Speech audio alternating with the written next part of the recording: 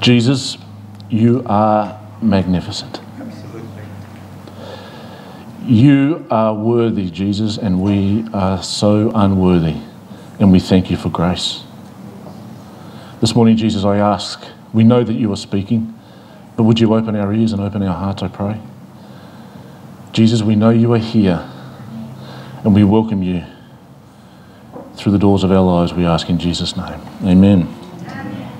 You'd like to turn in your Bibles to John chapter 12, we're going to talk about faith in contrast this morning, and all, this will be the, the last sermon on the Gospel of John before I go. The next couple of weeks, we'll, we'll do the Christmassy jingle belly thingy for the next couple of weeks and just focus on Christmas because that's what we should be doing every, every day, but we'll focus on it in December while we're here. Uh, it's a great time of year, and we should be celebrating Christ in December, if none other time. But Today we come to John chapter 12, and from here on in, the, uh, it's been a pretty heavy gospel in a lot of ways up to now. But from here on in, it, it, gets a little bit heavier as well. Jesus has a lot that he wants to say to his disciples before the cross. There's a lot that he wants to say. If you can imagine you're about to be taken away, what would you want to say to those people before you? What's, what's your final word you want to be, be saying to them? We're going to look at that when I get back next year because 13, 14, 15, 16 talk a lot about the Holy Spirit and a lot about Jesus is leaving and the responsibility we're left with. But John has one goal we know in the Gospel of John, and that is that he tells us in chapter 20, I have written these things that you may believe. And he doesn't want us to leave this gospel wondering, I wonder what he means by that. And today, in this chapter, I don't want anybody to leave here today wondering, I wonder what it means by that. And we're going to contrast faith. John's been doing it the whole, the whole gospel, John's been doing it. He usually uses the Pharisees and says, Have a look at this, will you? These guys are seeing the same miracles, they're dealing with the same man, but they're responding differently. So he's contrasting what it looks like to believe. And uh, I've watched snippets of a movie that I want to watch the rest of, and I encourage all of us to watch. It's called Do You Believe? It's an interesting movie, and it challenged me deeply because there's a there's an African American man carrying a cross, and he comes across another man, and he says, "Do you do you believe this?" And the guy in the car says, "I'm a pastor. Of course I believe it." He says, "I didn't ask you what you do." He says, "I asked you." If you believe this. And that radically changes the pastor's life. A completely different trajectory from then. Do we actually believe this? And I wonder what that looks like in our lives. Some years ago, it would be three years ago now, I can remember preaching a sermon at Lagana. It absolutely rocked my boat when I looked at this, and I was, I was actually preaching on the life of Joseph. Well, he's one of my favourite characters in the Old Testament, and there are so many parallels between Joseph and Christ. But I remember preaching on Joseph, and through the course of studying it, I stumbled across uh, an incident with Moses. And Moses, we understand, he, he, he leads the Israelites out of the promised, out of the, out of Egypt into the wilderness, and he never actually makes it to the promised land. And there's an incident that happens at the waters of Meribah where he, God says to Moses, Speak to the rock. And Moses hits the rock. Same result, the water still comes out. But later on, God says to Moses, Because you did not sanctify me as holy in your heart. That's the original Hebrew. Because you did not sanctify me as holy in your heart, you will not go with the Israelites into the promised land. I thought, wow, Moses? Moses misses out. This is a guy who you pushed his face into the cleft of a rock, Lord, as you passed by. This is a guy that spoke with God face to face. This is the guy that got the Ten Commandments twice. And I started wondering what that meant. And I also realised it in, in the Epistle of Peter. Great epistle. We'll spend some time in the Epistle of Peter sometime next year. But the first Epistle of Peter, chapter 3, verse 15, everybody loves this verse. But they always quote the last part of it where it says that we should be ready to give a good defence. And we should be. But don't forget the first part to honour Christ as Lord in your heart. And the original Greek is to sanctify Him as Lord in your heart. And whenever we sanctify something, the word means to take something from a position of ordinary and place it in the position of special. And three years ago, I said, Lord, sanctify yourself as holy in my heart. And I warn everybody in this room think twice before you pray that prayer. It will not look like what you think it will look like. One of my heroes of the last century, William Booth, who founded the Salvation Army along with his wife, Catherine Booth, says, I've shared this quote before and I will share it again because it is prophetically speaking to the 21st century when William Booth says that the chief danger of the 21st century will be religion without the Holy Ghost.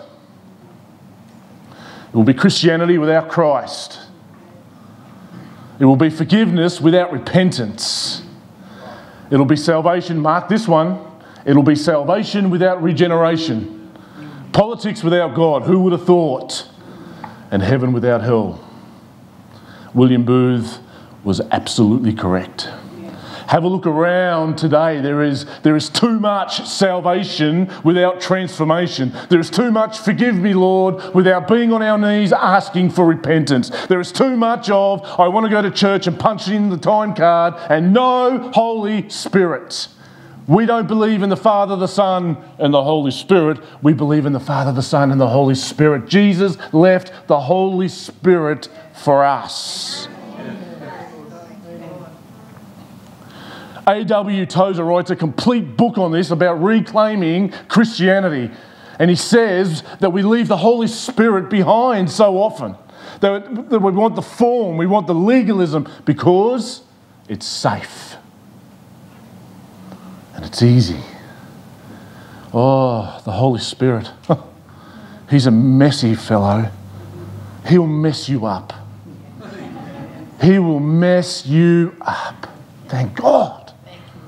Thank God. The Holy Spirit helps us to work out what God works in, and that's the aim of what God wants to do in each and every one of our lives. Ravi Zacharias speaks of it like a tapestry, where if you have a look behind any tapestry, you just see random threads going all over the place. It doesn't make any sense. But if you look at the other side, all those random threads are beginning to form a very beautiful picture. And God weaves all those random threads of our life in an attempt to produce something beautiful. That's what He's doing in our lives. I don't want church without the Holy Spirit. I, I don't want church without Jesus. I don't want salvation without transformation. You might be sitting here this morning and you might say to yourself, that's not possible. It's not possible. I go to church, I believe. Hmm, yes. I've also seen people sit in church pews for many years and not believe. Sad. Let's have a look at our verses today as we look at John chapter 12. Six days before the Passover, Jesus therefore came to Bethany where Lazarus was, whom Jesus had raised from the dead. yes, you did. Verse 2 So they gave a dinner for him, so they should for Martha served, and Lazarus was one of those reclining with him at the table. So we see that they are throwing a dinner for Jesus, and this account that we're going to go through today is recorded in every gospel. Jesus said it would be. Jesus said, wherever this is told, the story of this lady will be told. In fact, by the time we're finished looking at the life of Mary, we're going to have a look at what worship actually looks like. We're going to have a look at what church should actually look like. When we walk through these doors, we should be like Mary. We're going to have a look at all of that. But they throw a dinner for Jesus, but there's some facts that have been omitted here that are consistent in the others that we need to know that sets the scene. In fact, this dinner is held at a Pharisee's house, and that Pharisee is secretly a leper the Gospel of Luke and the Gospel of Mark tell us that Simon is a leper. And he invites Jesus for a dinner, and Jesus accepts. There's an interesting note about leprosy. Whenever we read of leprosy in the Old Testament, it speaks figuratively of sin in the New Testament. And if you have a look at all the lepers in the New Testament, not one of them were healed, and every one of them were cleansed. And the effects that leprosy has on somebody physically is exactly the same effect that sin has on a person spiritually. The first important truth to know about it is Jesus is the only one that can cure it. Jesus is the only one that can cleanse your spiritual leprosy. And if it's left unattended, it will eat you away and desensitize you. So Jesus is having a dinner at a leper's house. Somebody hears about it. Mary. Who is this Mary? What's going on here? This is not the mother of Jesus for a start. It is Martha's sister. We know Mary and Martha. Martha's busy about serving, and Mary is at the feet of Jesus. Of course, she is. we know that this Mary is also the sister of Lazarus. We know that it is this Mary that is likely the lady that was caught in adultery in John chapter 8. It is this same Mary that Jesus will say to Simon the leper, Those who are forgiven much love much. Mary got something that a lot of other people missed. We will see that Mary just gets grace. Mary got it. Mary got the fact, Jesus, I didn't deserve for you to do anything for me. Jesus, I was a sinner and you set me free. Mary gets it. And so many people picture the Christian life as a boxed up life of rules and regulations and legalistic ways, but grace changes the words I have to to I get to and I want. What a privilege it is, Jesus, to serve you. Mary gets grace. She understands that she's been forgiven much. In Luke, we are told that she is a sinner. Aren't we all? A lot of us are so much like Mary. Mary does something very different here. Mary, therefore, took a pound of expensive ointment made from pure nard. We need to understand what's going on with this ointment here. This ointment is the key to everything that is going on here. This expensive ointment, we will see, equals about 300 denarii, and that would be a year's wages for a peasant. So in Australia, that equals about $60,000. In the US, it's $90,000. And in Europe, it's about $150,000 to $160,000. Depends on the currency of the euro at the time. But we understand that it would take a lady who probably got this by means of unreputable ways. Women didn't really work, but she has been able to save this up. This would have equated to our life savings. Imagine trying to save 60,000 or so dollars. In fact, this ointment to Mary would have meant everything that she had. This would have been possibly passed down through the family, but what the contents of this jar would have been considered extraordinarily valuable. In fact, nard is a perfume that is expensive because it is imported from a long distance away and it is extracted from a Nepalese plant, which takes a lot of time and a lot of plant. And perfume was considered to be very valuable at this time. So we see that Mary has expensive ointment and she does something very amazing with it. Mary therefore took a pound of expensive ointment made from pure nard and anointed the feet of Jesus and wiped his feet with her hair. This is not a secret act because the house was filled with the fragrance of the perfume. When the Bible speaks of anointing, what does it mean to be anointed? Well, let's have a little bit of a look at that. Anointing is an ancient custom that shepherds would use, as a matter of fact, because sheep tended to get lice and other bugs that would climb up the sheep and get near the ears and inside the ears and actually kill the sheep. So the shepherds formulated a way to stop this, and that was they would take oil and smear it and rub it into the head of the sheep. And every time these bugs would get to the head, they'd fall off. And it absolutely alleviated the problem. But symbolically in Scripture, to be anointed is to be consecrated and set apart for office. We see that people were anointed for the office of king. We see that people were anointed for the office of prophet. It's a setting aside, it's a, it's a consecration. It's a you have it's a round hole for a round peg. That's where you are. It's setting you aside. People were also anointed as builders. Or you were anointed, as I believe Jesus was, for a special purpose. I don't think Mary actually gets what she's doing here. I don't think Mary actually gets the fullness of what she's doing, but Jesus' feet will be anointed for a special purpose. for the purpose that he came to die for us. In the Gospel of Luke, Jesus, you've got to be careful murmuring about Jesus' people because Simon the leper begins to murmur about Mary. You see, Mary comes into Simon's house and she pays absolutely no regard to Simon. Hmm. She pays absolutely no regard to any of the disciples. Mary's complete focus is on Christ. This is not an accidental happening. This is not something that, oh, I just happen to carry this expensive perfume with me, Jesus, while you're here. No, this is completely and utterly premeditated. This is exactly an act that has been planned by Mary. And when she gets to Simon the leper's house, a Pharisee, she pays no attention. And she's intently focused on Christ. And Simon begins to murmur. And now we begin to see a little bit of a glimpse of the difference of the heart. And Jesus says to Simon, I want to ask you a question. Do you see this woman? Because really, the only person in the room that actually really sees this woman is Jesus. They all view her and wish they couldn't see her, but Jesus sees her. And Jesus says to Simon the leper, He says, You know what?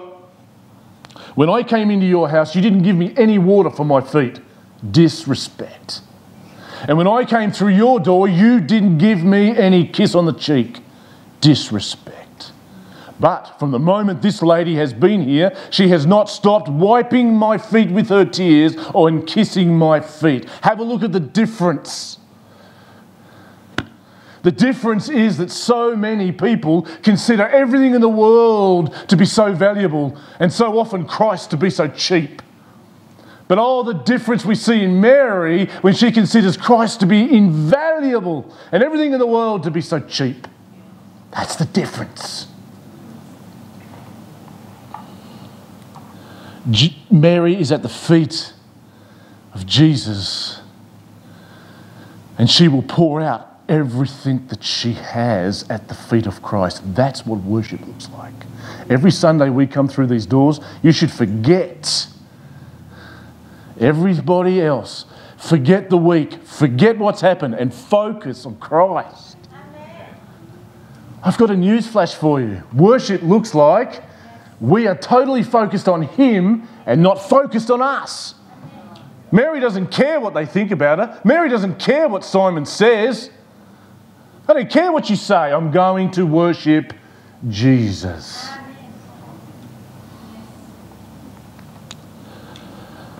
One of my most favourite words in Scripture. Problem is, it's either a good one or a bad one. Just as in life, you get good butts and bad butts. So in Scripture, you get good butts, like in Ephesians chapter 2, you know, where, where Paul's actually, Ephesians is actually a prayer. when you break it down, it's one big prayer of Paul's. But Paul's, Paul outlays that we were objects of wrath. By nature, we were objects of wrath. But, oh, thank you for that, but. But we have a but now, and every time you have a but in Scripture, we're flipping the coin. We're, we're, we're having a look at the other side. We're having a look at a switch or a contrast. And that's exactly what's happening here. John wants us to know look what Jesus, do, look what, look what Mary does for Jesus. This is what worship looks like. But, but what? But Judas Iscariot. He's an elephant in the room, isn't he? Let's be honest. Everybody reads the Gospels and goes, Lord, why Judas? Jesus stayed up all night praying, and after an all nighter in prayer, handpicks his disciples. But why Judas? If you're sitting here this morning and you're thinking, you know what, Judas was born to betray Christ, that's wrong. All of the Gospels, when they list Judas, they say he became a traitor. You don't become something you were born to be. We mix God's divine knowledge up with God ordaining it to be that way, but you can't remove the fact that Judas Iscariot lives with a choice. But what hits my heart the hardest is how does a man spend three years in the presence of Christ and still be so far from him? And the truth of the matter is, we see in the person of Judas, forget the betraying, forget all of that. What we see is you can actually be close to Jesus, but ever so distant. You can hang around Jesus and not be near him at all. And John doesn't want us to miss this. John doesn't want us to miss the fact that you can spend a lifetime in the presence of Jesus and be so distant from him. Judas Iscariot, we will read in the next chapter. If you read the next chapter, we will see that right up until Jesus passes Judas the morsel of bread, that's when Satan enters Judas.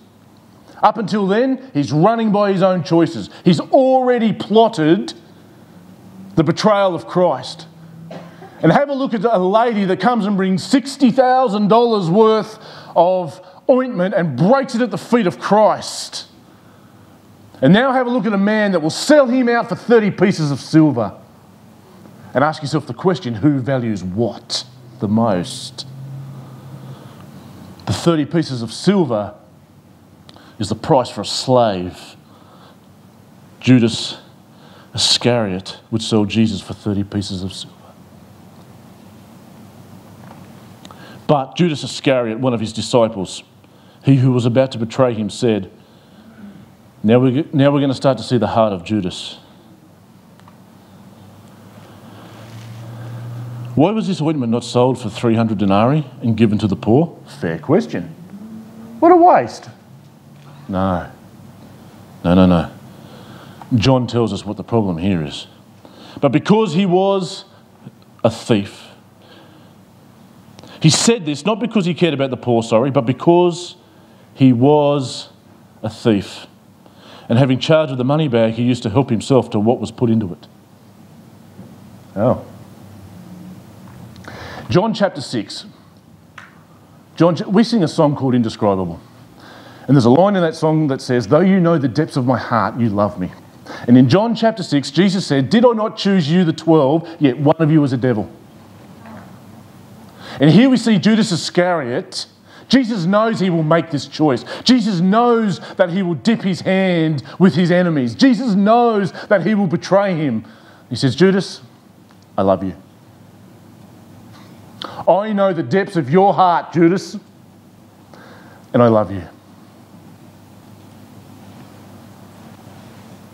But we see a heart exposed.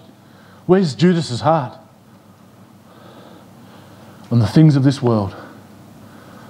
He was a thief, and he's, he's reminiscing an opportunity missed. This could have been sold. Imagine how much of this I could have put in my pocket. And sadly, to our detriment, there are many today that hang around Jesus because they see physical benefits. I love what Jesus says.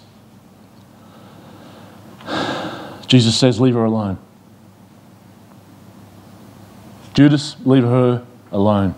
And the imperative here is he is speaking to an individual, not to a group. He rebukes Judas. Judas, you can hide behind whatever you like. You can put up this facade of being a disciple. You can, you can put up these screens. Simon, you can wear all the clothes you like. I still know you're a leper. And in fact, half of Jerusalem know you're a leper. You're not holding it very well. But don't we do the same sometimes? Don't we try to put on more clothes sometimes? Don't we try to put up a facade that we hide behind? I'm, I'm Jesus' disciple. Jesus knows the heart. And Jesus says to Judas, Leave her alone. She's worshipping me.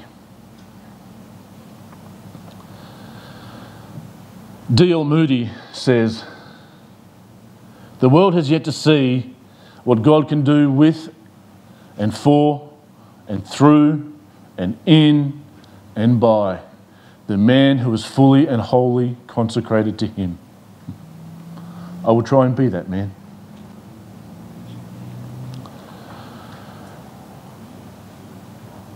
I want to tell you about a friend of mine who, for many years, thought, you know what, the most important thing is that I work hard. The most important thing is that I do whatever I have to do to get ahead.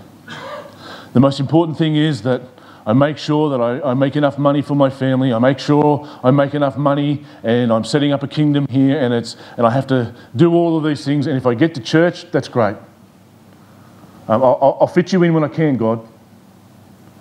And over the course of time, this, this friend of mine began to realize just how temporal things are here on this earth and just how eternal Jesus is.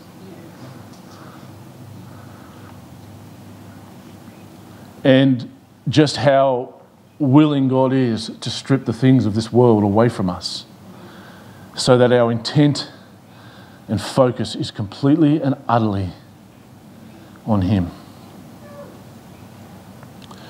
I wonder what God could do with a church full of people that are wholly consecrated to Him. Jesus needed 11.